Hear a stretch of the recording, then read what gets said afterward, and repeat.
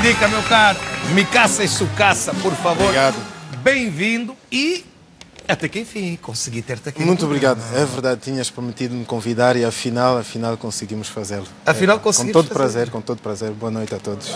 Obrigado mesmo. Olha, eu, eu, eu estou muito. Eu recebo, e insisti sempre em convidar, porquê? Porque eu recebo muita gente aqui para falar do- da, da Fundação, das várias atividades que a Fundação tem. E, hum, e nada melhor do que, do que ninguém, como tu aqui, para podermos falar exatamente das bases dessa Fundação. Eu começo por falar logo como. da- da- das várias atividades que tu tens, como empresário, homem de negócios, líder de comunidade, ativista, colecionador de arte. Mas pergunto, o que é que te levou a colecionar arte? Foi um bocado uma predisposição que eu tinha. Eu tive a oportunidade, tive a, a- a grande oportunidade de ter pais que já gostavam muito da arte.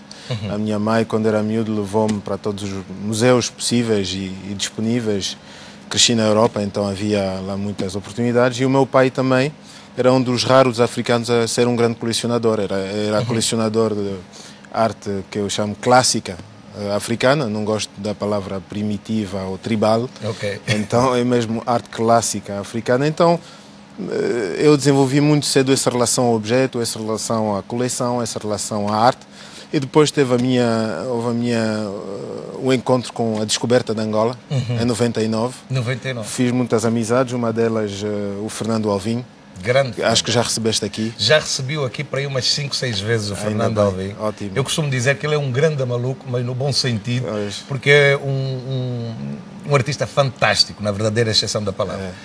E ali foi um concurso de circunstância, como às vezes acontece na vida. O Fernando Alvim era, na altura, diretor, curador de uma grande coleção internacional, chamada Hans Bogatz. E, infelizmente, o dono dessa coleção faleceu. E ele apareceu na minha casa um dia a dizer: para a síndica, temos que comprar essa coleção e tens que ter a primeira coleção africana em África, em terra africana. E realmente não estava muito convencido, achava muito complicado. Ele conven- conseguiu, como sempre, convencer-me. E então assim que começou, em 2003. 2003, foi aí que tu acabaste, começaste a construir então, uma das mais importantes, atualmente, das mais importantes coleções de arte contemporânea em África. Exatamente. Fundaste também a coleção africana de, de arte contemporânea Sindica do Colo em Luanda. Exato. com o objetivo de dar a conhecer ao público o, o, o que é concretamente. Qual, qual é a, a filosofia e, hum, a- a- adjacente à construção da, da, da coleção? Como acabaste de dizer e bem, eh, a coleção é uma coleção eh, africana de arte, não uma coleção de arte africana. Para Ok. mim, a arte é, é universal, é difícil dizer que tem arte europeia, arte americana, arte africana. É uma expressão universal. Arte. É arte, é uma claro. coleção de arte. Mas é um ponto de vista africano sobre a arte. Eu acho que nós temos que eh, cada vez mais exprimir, em tanto que africanos, qual é o nosso ponto de vista sobre o mundo, sobre a estética e, e- especialmente quando trata-se de, de África. Para mim é muito importante e era o objetivo principal desse, deste investimento, nessa coleção, de poder expor o público africano à sua criação contemporânea. Eu acho que é, é- é sempre uma fonte de enriquecimento, é sempre uma oportunidade de refletirmos sobre uh, o que é, que é a nossa sociedade, uh, como é que a gente consegue projetar no futuro, de onde é que vimos. Acho que isso, isso tudo é- é- são coisas fundamentais da E da da forma cultura. como, como as pessoas vão, vão, vão olhar para nós, sendo, eh, sendo nós a transmitirmos o, o nosso ponto nosso ponto de vista. Mas quando é que tu hum, decides criar a Fundação Sindica do Colo em Luanda? Nós, hum, a, prim- a primeira ideia era de facto conseguir gerir essa parte da logística, acho que eram 500 peças. Uh, 500 peças e na altura foi comprado por uh, quase nada, porque a, a, a, viúva uh, gostava muito do marido, mas não gostava nada da coleção, achava uma chatice, então queria mesmo desfazer-se daquilo. Uh, Como o marido também gostava muito da África, ela gostou da ideia de poder uh, pronto, contribuir uh, a que a coleção do marido seja vista em, em, em África. Então, o, o, a condição que nós negociamos era ter um preço bom, em contrapartida, nós íamos a, a repatriar a coleção e as obras em, em África. Desde então, nós começamos a pensar, em tanto que, já não em tanto colecionador, mas já em tanto que operador Ok. cultural, para assim falarmos. E logo a primeira questão que se colocou foi eh, o sítio.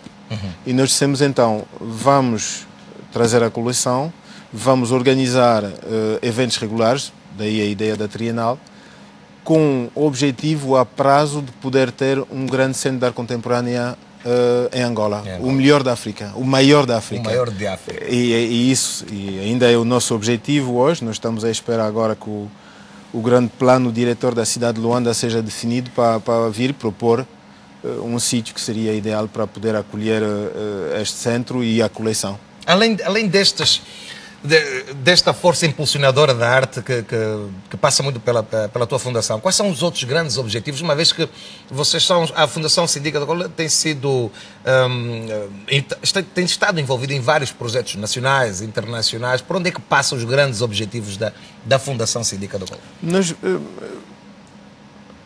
a minha primeira, o meu primeiro objetivo é o prazer pessoal de, de uhum. colecionar. Claro. Eu gosto de arte gosto, gosto dos artistas, também sou um colecionador, não sou um museu, é muito subjetivo, eu gosto de certas coisas, talvez tu não gostarias, outros não, não gostariam. Uhum. Mas em tanto cooperador cultural e em tanto que uh, presidente dessa fundação, eu descobri uma vertente bastante interessante do mundo da cultura, que é um, uma dimensão política muito forte.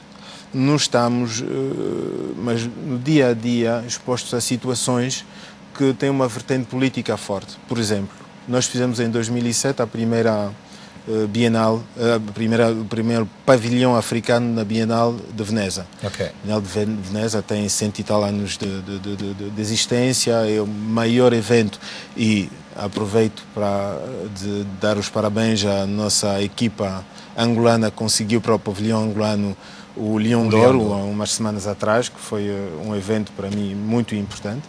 E nós, eh, quando nós fizemos 2007 de Veneza, disseram, convidaram-nos a dizer primeiro ao pavilhão africano. E depois chegamos lá, não havia organização, não uhum. havia meio, estava tudo desorganizado. Uh, e, nós fizemos questão de uh, organizar tudo a partir de Luanda. Então, tivemos quase 50 pessoas que saíram de Luanda, foram para lá, fizemos tudo, organizamos tudo, à nossa maneira, a maneira que nós sabemos uhum. fazer.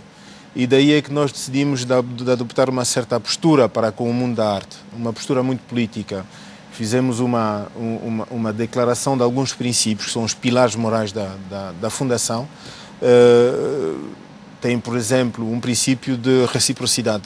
Okay. Nós uh, aceitamos de emprestar gratuitamente, gratuitamente a, a, as obras da coleção que interessarem qualquer uh, grande museu internacionalmente. Tendo como contrapartida. A contrapartida, a única que nós pedimos, que nós exigimos, é que eles organizem a mesma exposição no país da sua escolha em África. Okay. Porque nós achamos importante moralizar um bocado o mundo da arte e dizer uh, África não é um, um, um, continente perdido, é um continente que está a se desenvolver, que tem, que tem um futuro brilhante pela frente e eles têm que participar nesta emulação e neste enriquecimento da, da, da vida cultural.